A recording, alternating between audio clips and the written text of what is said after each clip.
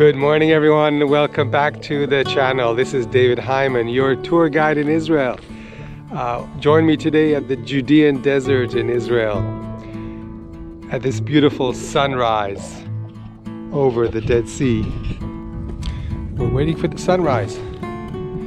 Should rise any minute now. There it is. The sun is rising over the Dead Sea and the Judean wilderness. We're going to do a tour today on these mountains.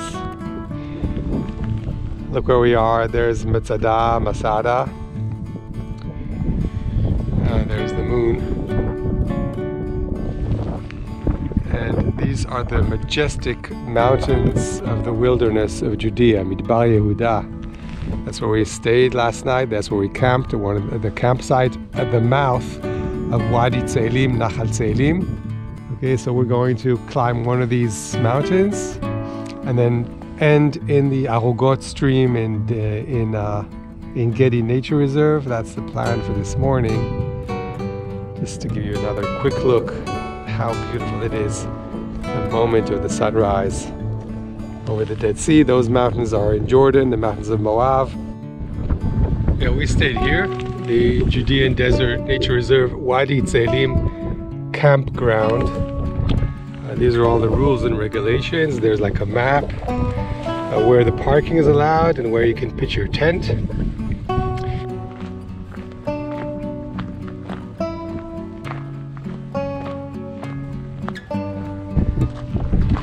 Let me show you our plan.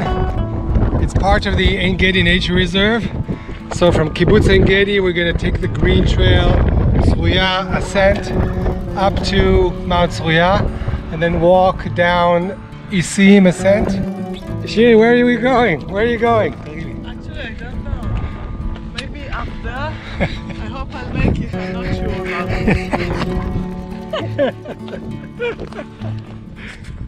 it. So Ein Gedi was the border with Jordan for 19 years. The green line passed here. There's still an old sign.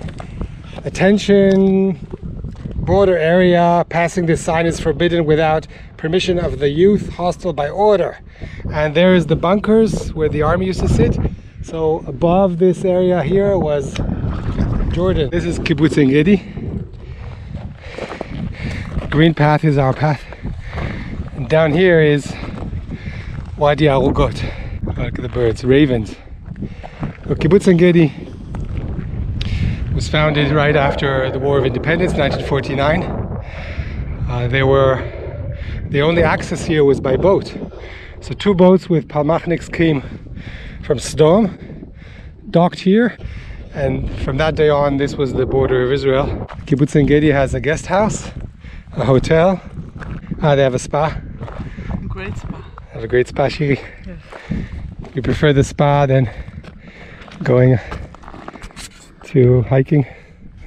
and sleeping in the tent. Here's a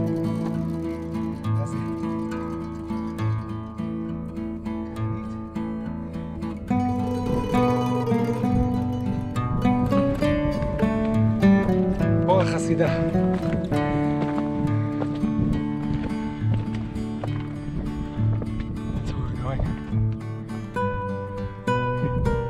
Steep, huh? Hi everybody, we I'm Michael. I I'm Eli. we come from Tel Aviv this morning and we like hiking in the desert.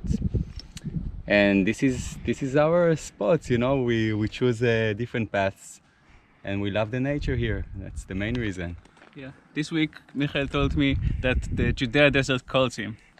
He really wanted to go this week. Yes, we have a limited uh, season to to visit, and we are towards the end, so we want to make the most of it. Great. Absolutely. Thanks so much, guys. Enjoy your hike. you, David. Thank you so much. Pleasure to meet you here. Shiri. and Shiri.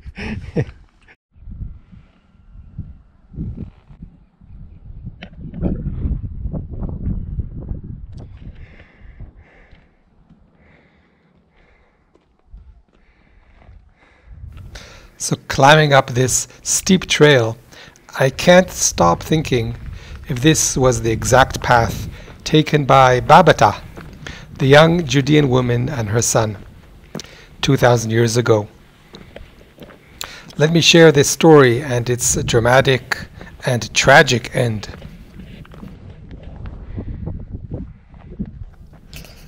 So, in the 1960s, Israel launches an archaeological survey of the many caves of the Judean desert. The survey is directed by archaeologist Yigael Yadin. Yadin's team heads for two caves on the cliffs of Wadi Hever, just three kilometers from Ein Gedi. The natural caves are in the middle of a 200 meter cliff. The access is only possible with ladders and ropes. The excavations revealed that the two caves, now named the Cave of Horrors and the Cave of Letters, were both used as hiding sites by Judeans from Ein Gedi.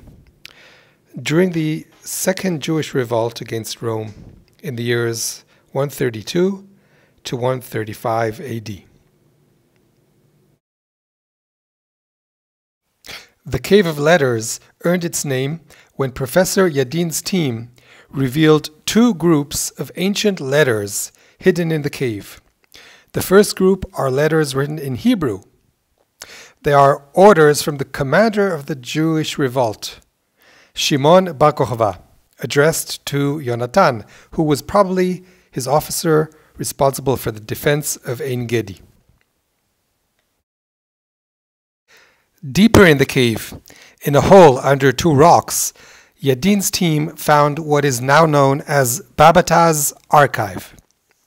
This Judean second century woman, woman, escaping from the Romans, took her most valuable possessions with her. In a straw woven basket, she placed a few knives, a mirror, a wooden box, her house keys, and her most beautiful kitchenware. It gets better. In the sack, she also placed 35 documents wrapped in a cloth and tied with rope.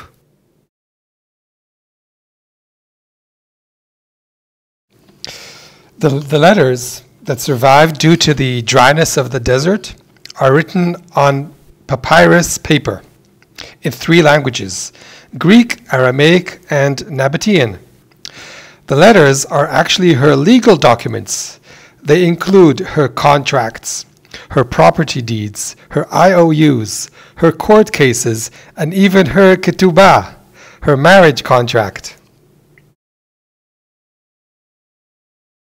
This is, without a doubt, the most important find that can teach us about daily life during the second century in Judea.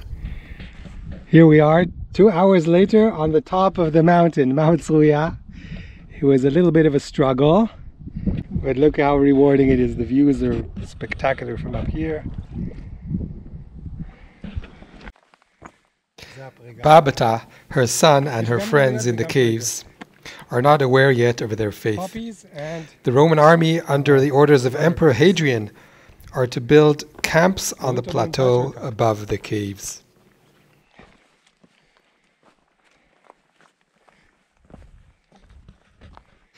The Roman army guard the only way out of the caves, and eventually everyone dies from starvation and thirst. The Roman camps and paths are still silent witnesses to this drama. The ancient Roman path called Ma'ale Ha'isim leads down to the springs of Nachal Arugot.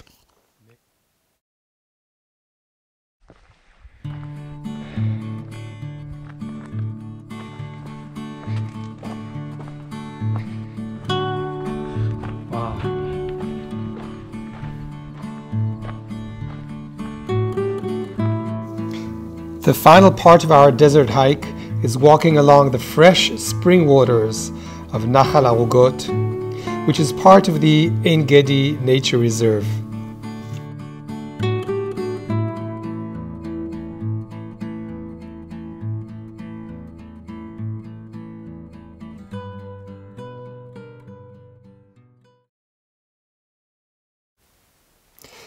Nahal Arugot is a great moderate nature hike with pools, waterfalls, and great views, and can be done as a day walk from the parking lot all the way to the waterfalls and back. We hope you enjoyed the, our tour today of Nachal Arugot and Ein Gedi. So please give us a big thumbs up. Uh, please uh, subscribe to the channel down below. And please write a comment. Let us know where you'd like to go on our next tour of wonderful Israel. Bye bye. Bye, Litot.